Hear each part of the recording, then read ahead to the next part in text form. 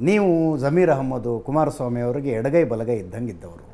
ನಿಮ್ಮ ಫ್ರೆಂಡ್ಶಿಪ್ ಬಗ್ಗೆ ದಂತ ಕಥೆಗಳಿದ್ವು ಸರ್. ಅದೆಲ್ಲ ಏನಾಯ್ತದ? ಯಾಕೆ ಯಾಕೆ ಫ್ರೆಂಡ್ಶಿಪ್ ನಮ್ಮ ಜನರಲ್ ನಾಲೆಜ್ ನಾನು. ಅದಕ್ಕೆ ಬುಕ್ ಬರಿಬೇಕಾಗತ್ತೆ ನಾನು. ಬುಕ್ ಬರಿಬೇಕಾಗತ್ತೆ. ನಮ್ಮ ಫ್ರೆಂಡ್ಶಿಪ್ ಬಗ್ಗೆ ನಾವು ಅವಾಗ ಅವರ ನಮ್ಮ ಹತ್ತು ವಾಕ್ಯಗಳಿಗೆ ಮೀರದಂತೆ ಅವರ ನಮ್ಮ ಈಗ ಮೊನ್ನೆ ಅಸೆಂಬ್ಲಿಲಿ ಹೇಳ್ತೀರಿ ನಾವೆಲ್ಲ ತಿಳ್ಕೊಬೇಕು ಅಂತಿದ್ದೀವಿ ಚರ್ಚೆಗೆ ಅವಕಾಶ ಕೊಟ್ಬಿಡಿ ಒಂದು ದಿವಸ ಅಂತ.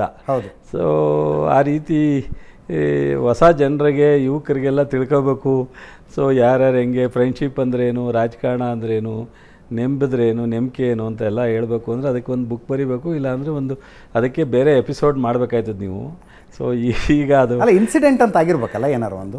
ಫೈನಲಿ ಮನಸ್ಸು ಮುರಿದು ಹೋಯ್ತಪ್ಪ ಅವ್ರಿಗೂ ನಮಗೆ ಸರ್ ಇಷ್ಟ ಇನ್ಸ್ಟೆಂಟ್ ಇಷ್ಟೇ ಈಗ ಅವ್ರ ಮನೆಯಲ್ಲೇ ಅವರು ಅಕ್ಸೆಪ್ಟಬಲ್ ಅಲ್ಲ. ಇಷ್ಟು ತಿಳ್ಕೊಂಬಿಡ್ಬೇಕು ಓಕೆ ಈಗ ಅವ್ರ ಕುಟುಂಬದಲ್ಲಿ ಅವ್ರ ಮುಖ್ಯಮಂತ್ರಿ ಆದಮೇಲೆ ಅವರು ಸೊ ಪಬ್ಲಿಕ್ ವಿಚಾರಕ್ಕೆ ಬಂದಾಗ ಅಡ್ಜಸ್ಟ್ ಮಾಡ್ಕೊಂಡು ಹೋಗ್ಬೋದು ಅವರು. ಅವ್ರ ಕುಟುಂಬದಲ್ಲಿ ಎಲ್ಲರೂ ಅವ್ರ ಜೊತೆ ಸಾಮತ ಇದೆಯಾ? ಈಗ ರೇವಣ್ಣವ್ರ ವಿಚಾರದಲ್ಲಿ ಅವ್ರು ಏನು ಮಾಡಿದ್ರು? ಸೊ ಅವ್ರ ಮಕ್ಳ ವಿಚಾರದಲ್ಲಿ ಏನೆಲ್ಲ ಇಶ್ಯೂಸ್ ಮಾಡಿದ್ರು ಕಳೆದ ಬಾರಿ ಇದೆಲ್ಲ ಒಂದು ಕಡೆ. ಅದಾದ ಮೇಲೆ ಸೊ ನಾವು ಹೇಳಿದ್ನಲ್ಲ ಎರಡು ಸಾವಿರದ ಎಂಟರಲ್ಲಿ ಅವ್ರ ಮುಖ್ಯಮಂತ್ರಿ ಎಷ್ಟಿದ್ದೋ ನಾವು ಮೂವತ್ತೊಂಬತ್ತು ಜನ ಇದ್ದೋ. ಐವತ್ತು ಎರಡು ಜನ ಗೆದ್ದು ಸಿದ್ದರಾಮಯ್ಯ ಅವರೆಲ್ಲ ಪಾರ್ಟಿ ಬಿಟ್ಟು ಹೋದ್ಮೇಲೆ ಸಿಂಧಿಯಾ ಅವರೆಲ್ಲ ನಾವು ಉಳಿದಿದ್ದು ಎಷ್ಟು ಜನ? ಮೂವತ್ತೊಂಬತ್ತು ಜನ ನಲ್ವತ್ತು ಜನ.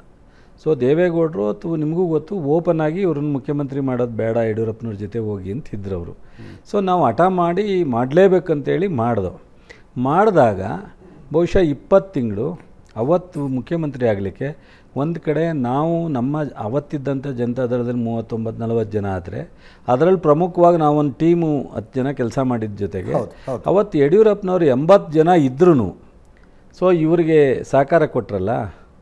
ಸೊ ಅವರನ್ನು ಇಪ್ಪತ್ತು ತಿಂಗಳು ಮಾಡಲಿಕ್ಕೆ ಇವ್ರ ಮನಸ್ಥಿತಿ ಒಪ್ಪಲಿಲ್ವಲ್ಲ ಇವರು ಮುಖ್ಯಮಂತ್ರಿ ಆಗನಾಗ ಅವ್ರ ಕುಟುಂಬದ ವಿರೋಧ ಮಾಡ್ಕೊಂಡು ಆಗ್ತಾರೆ ಅವರು ಇನ್ನೊಬ್ಬರಿಗೆ ಸಹಕಾರ ಕೊಟ್ಟಂಥವ್ರಿಗೆ ಇವತ್ತು ರಾಜ್ಯದಲ್ಲಿ ನೂರಿಪ್ಪತ್ತು ಸೀಟ್ ತಗೊಂಡು ಒಂದು ಪಕ್ಷ ಗೆದ್ದು ಮುಖ್ಯಮಂತ್ರಿ ಆಗದೆ ಕಟ್ಟಾಗುತ್ತೆ ಪಕ್ಷ ಕಟ್ಟಿ. ಅಂಥದ್ರಲ್ಲಿ ಏನೂ ಇಲ್ಲದಲೇ ಸುಲಭವಾಗಿ ಫಸ್ಟ್ ಟೈಮ್ ಎಂ ಎಲ್ ಎಗೆ ಅವಕಾಶ ಸಿಕ್ಕಿದಾಗ ಯಾರು ಅವಕಾಶ ಕೊಟ್ಟರು ಅವ್ರ ಬಗ್ಗೆ ಇವ್ರಿಗೆ ಯಾವ ರೀತಿ ಇರಬೇಕು ಅನ್ನೋದನ್ನು ಬಿಟ್ಟು ಅವರನ್ನು ಸೊ ತುಮಕೂರು ಗಂಟ ಹೋಗ್ತಾಯಿದ್ರು ಅಲೆ ಯಡಿಯೂರಪ್ಪನವರು. ಮತ್ತೆ ವಾಪಸ್ ಕರೆಸಿ ಅವರನ್ನು ಮುಖ್ಯಮಂತ್ರಿಗೆ ತೀರ್ಮಾನ ಮಾಡಿ ಹನ್ನೊಂದು ದಿವಸಕ್ಕೆ ವಾಪಸ್ ಇಳಿಸಿ ಇವೆಲ್ಲ. ಅದೆಲ್ಲ ಅವತ್ತಿಂದನೇ ನಮಗೆ ಅವ್ರ ಬಗ್ಗೆ ಒಂದು ವಿಶ್ವಾಸ ನಂಬಿಕೆ ಪರಸ್ಪರ ಸ್ನೇಹ ಎಲ್ಲೋ ಒಂದು ಕಡೆ ಡಿಫ್ರೆನ್ಸ್ ಆಗ್ತಾ ಆಗ್ತಾ ಬಂತು. ಮತ್ತು ಅವರು ಅವತ್ತು ನಾವು ಪಾರ್ಟಿ ಬಿಟ್ಟು ಹೋಗಬೇಕು ಅಂದಾಗ ಬಹುಶಃ ನನಗೆ ಅವತ್ತಿನ ಸಂದರ್ಭದಲ್ಲಿ ಕಾಂಗ್ರೆಸ್ಗೆ ಒಂದು ಬ್ಯಾಚ್ ಹೋಗಿತ್ತು. M P Prakash. ಹೌದು. ಅವ್ರು ಅವಾಗ ನಮ್ಮನ್ನು ಕರೆದ್ರು ನಿಮ್ಮನ್ನು ಡೆಪ್ಟಿ ಸಿ ಎಂ ಎ ಮಾಡ್ತೀವಿ ಬನ್ನಿ ಅಂತ. ಸೊ ನಾನು ಅವ್ರ ಚಾನ್ಸ್ ಇಲ್ಲ ಅಂತಂದೆ. ಅದಾದಮೇಲೆ ಯಡಿಯೂರಪ್ಪನವ್ರು ಇದಾರಲ್ಲ ಕೇಳ್ಬೋದು ನೀವು. ಯಡಿಯೂರಪ್ಪನವರು ಕಟ್ಟ ಸುಬ್ರಹ್ಮಣ್ಯ ನಾಯ್ಡು ಮತ್ತು ಅಶೋಕು. ಸೊ ನಾನು ಮುಖ್ಯಮಂತ್ರಿ ಆದರೆ ಎರಡು ಸಾವಿರದ ಎಂಟರಲ್ಲಿ ನಿನ್ನನ್ನು ಉಪಮುಖ್ಯಮಂತ್ರಿ ಮಾಡ್ಕೋತೀವಿ ಬಾ ಅಂತ ಹೇಳಿದ್ರು.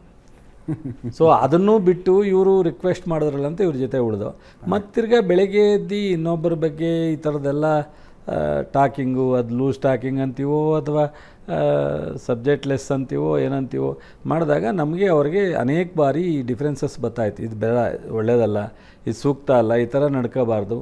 ಒಂದು ರಾಜಕಾರಣ ಮಾಡ್ತೀವಿ ಅಂತೇಳಿ ಯಾವುದೋ ವಿಷಯ ಗೆಲ್ಲಿಕ್ಕೆ ಒಂದಷ್ಟು ಏನೋ ಸ್ಟ್ರಾಟಜಿ ಮಾಡ್ಬೋದು. ಹಂಗಂತೇಳಿ ಎಲ್ಲ ವಿಚಾರದಲ್ಲೂ ವೈಯಕ್ತಿಕವಾಗಿ ಯಡಿಯೂರಪ್ಪನವ್ರು ಒಂದು ಕಾಲದಲ್ಲಿ ಜೈಲಿಗೆ ಹೋಗೋವರೆಗೂ ಬೆನ್ನತ್ತಿದ್ರು. ಅಂದರೆ ತುಂಬ ಗ್ರೆಡ್ಜ್ ಇದೆ ಸೊ ಅದೆಲ್ಲ ಏನಾಗುತ್ತೆ? ನಮಗೆ ಈಗ ದೇವೇಗೌಡರು ಎಷ್ಟೋ ಬಾರಿ ನನ್ನ ಜೊತೆಲಿ ಕೂತ್ಕೊಂಡಾಗ ಇವೆಲ್ಲ ಒಳ್ಳೇದಲ್ಲ ಅಂತ ಹೇಳಿದ್ದಾರೆ. ಈ ಥರದ್ದೆಲ್ಲ ನಾವು ರಾಜಕಾರಣ ಮಾಡ್ಕೊಂಬಂದಿಲ್ಲ ಅಂತ ಹೇಳಿದ್ದಾರೆ. ಈ ಥರದ್ದೆಲ್ಲ ಮಾತಾಡಬಾರ್ದು ಅಂತ ನಮಗೆಲ್ಲ ಅವ್ರನ್ನೂ ನಮ್ಮನ್ನು ಕೂರ್ಸ್ಕೊಂಡು ಅಡ್ವೈಸ್ ಮಾಡಿದ್ದಾರೆ. ಏನು ಮಾಡೋಕ್ಕಾಗುತ್ತೆ? ಅದೇನಾಗುತ್ತೆ? ದಿನೇ ನಿಜೇ ದಿನೇ ಬೆಳ್ಕೊಂಡು ಹೋದಾಗ ಬಹುಶಃ ನಾವು ಯಾಕೋ ಇದು ಸರೋಗಲ್ಲ ರಾಜಕಾರಣ ಅಂತ ಎರಡು ಸಾವಿರದ ಹದಿಮೂರವರೆಗೂ ಸುಮಾರು ಬಾರಿ ನಮಗೆ ಡಿಫ್ರೆನ್ಸಸ್ ಇದ್ರೂ ಕಂಟಿನ್ಯೂ ಮಾಡ್ಕೊಂಬಂದು ಎರಡು ಸಾವಿರದ ಹದಿನೆಂಟರೊಳಗಡೆ ರಾಜಕಾರಣ ಕೊನೆ ಆದರೂ ಪರವಾಗಿಲ್ಲ. ಬಿಟ್ಬಿಡೋಣ ತೆಗೆ ಅಂತ ಬಂದು ಹೊರಗಡೆ. ಅದು ನಿಮಗೆ ಗೊತ್ತಿದ್ದಂಗೆ ಎರಡು ಸಾವಿರದ ಹದಿನೆಂಟರಲ್ಲಿ ಅದೊಂದು ರೀತಿ ಅಲೆನೋ ಅಥವಾ ಏನೋ ಒಂದು ಸನ್ನಿವೇಶಗಳು ಬಂತು. ನಾವು ಭಾಳ ಅಂತರದಲ್ಲಿ ಮಂಡ್ಯ ಜಿಲ್ಲೆಯಲ್ಲಿ ಏಳಕ್ಕೆ ಏಳು ಸೋತು ಸೋತ. ಮೇಲೆ ಬಹುಶಃ ಅವ್ರು ಅಂದ್ಕೊಂಡಿದ್ರು ಮತ್ತೆ ಚಲುವರಾಯ ಸ್ವಾಮಿ ಮಂಡ್ಯದಲ್ಲಿ ತಲೆ ಎತ್ತಲ್ಲ. ತಲೆ ಎತ್ತಕ್ಕೆ ಸಾಧ್ಯ ಇಲ್ಲ ಅಂತ. ನಮಗೂ ಡೌಟೇ. ನಿಮ್ಮ ಮಾಧ್ಯಮದವರು ಯಾರೂ ಒಪ್ಪಿರಲ್ಲ ಅಥವಾ ಯಾರು ಸರ್ವೆ ರಿಪೋರ್ಟು ಯಾರೂ ಒಪ್ತಿರಲಿಲ್ಲ ನಂಗೆ ರಿಸಲ್ಟ್ ಬರೋ ದಿವಸ ಈಗ ಹದಿಮೂರನೇ ತಾರೀಕಲ್ಲ ರಿಸಲ್ಟು? ಮೇ ಹದಿಮೂರು. ಹದಿಮೂರು. ಏಳು ಗಂಟೆಗೆ ನನಗೆ ಇಂಟೆಲಿಜೆನ್ಸಿಯವ್ರು ಫೋನ್ ಮಾಡಿ ನಿಮ್ಮ ಮಂಡ್ಯದಲ್ಲಿ ಒಂದೇ ಸಾರ ಜ ಮಳವಳ್ಳಿ ಕಾಂಗ್ರೆಸ್ಸು ಇನ್ನು ಆರೂ ಜೆ ಡಿ ಎಸ್ ಅಂತ ಹೇಳಿದ್ರು. ಆಯ್ತು ಬಿಡಪ್ಪ ಇನ್ನೊಂದು ಎರಡು ಗಂಟೆ ಅಥವಾ ತ್ರೀ ಅವರ್ಸು ಅಷ್ಟೇ ರಿಸಲ್ಟ್ ಅಂತ.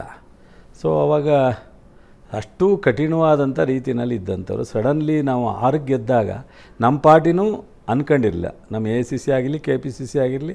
ಸೊ ಆರನ್ನ ಗೆಲ್ತೀವಿ ಅನ್ನೋ ಒಂದು ವಿಶ್ವಾಸ ಯಾರಿಗೂ ಇರಲಿಲ್ಲ. ಸೊ ಅಂಥದ್ರಲ್ಲಿ ಜನ ನಮ್ಮನ್ನು ಕೈ ಹಿಡಿದಾಗ ಬಹುಶಃ ಈಗ ಮತ್ತೆ ಪಾರ್ಲಿಮೆಂಟ್ ಇನ್ನೊಂದು ವರ್ಷಕ್ಕಿದೆ.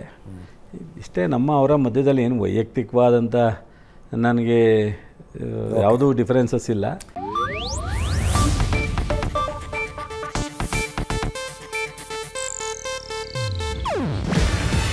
ಇದು ಏಷ್ಯಾನೆಟ್ ನ್ಯೂಸ್ ನೆಟ್ವರ್ಕ್ ಪ್ರಸ್ತುತಿ. ನೀವು ನೋಡ್ತಿದ್ದೀರಾ ಏಷ್ಯಾ ನೆಟ್ ಸುವರ್ಣ ನ್ಯೂಸ್.